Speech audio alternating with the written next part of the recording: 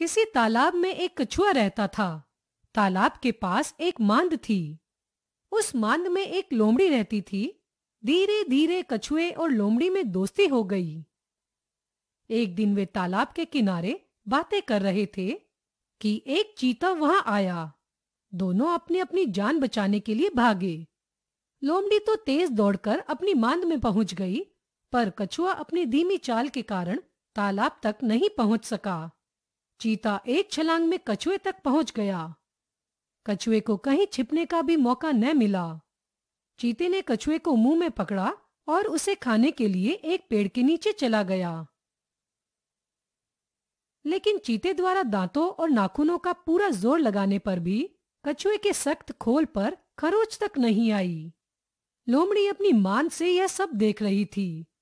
उसने कछुए को बचाने की तरकीब सोची। वह भोलेपन के साथ बोली, चीते जी, कछुए के खोल को तोड़ने का मैं आसान तरीका बताती हूँ। इसे तालाब में फेंक दो, थोड़ी देर में पानी से इसका खोल नरम हो जाएगा। चीते ने कहा, ठीक है। यह कहकर उसने कछुए को तालाब में फेंक दिया। बस, फिर क्या था? कछुआ तालाब में तैरकर दूर निकल गया और चीते से उसकी जान बच गई।